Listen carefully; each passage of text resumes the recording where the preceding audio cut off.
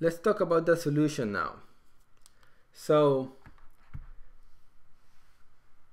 last week we talked we talked about a problem and a customer segment, right?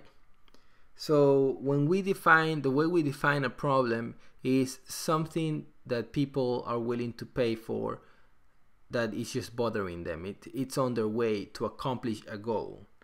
Once you have that goal, you'll find how your solution should look.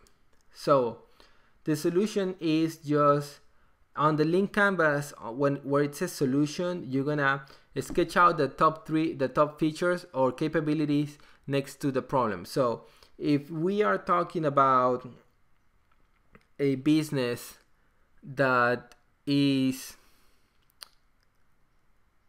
um, if we're talking about a business to help people find a date, right? Uh, it could be something like eHarmony. So what are the problems that people that use eHarmony are facing?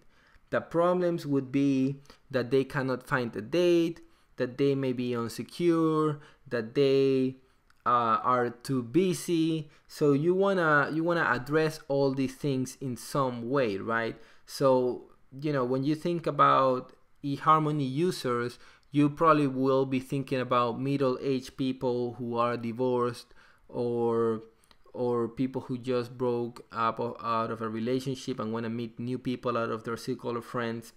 So they are trying this product, right? So then you're gonna look at all the problems they have on how on why they cannot find uh, a, a couple, and then you're gonna start creating solutions for that. So if the problem is that they are too busy, okay, doing a website where people can access it 24 7 that's a good solution so you make it harmony, you make it you put it on the internet right if the problem is that people don't want to waste their time because they're busy meeting people that aren't that do not share the same values then you create a test where people can uh, going where you can know about your users and then you can match people that are that have similar values and similar tastes and preferences right?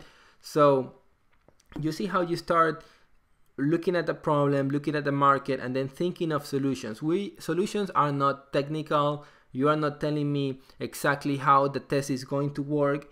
You're giving me a high level overview of of what you need which is the test you need the website these things are the solution and they somehow are tied together to your to your problems and your customer segments to create some sort of value, right?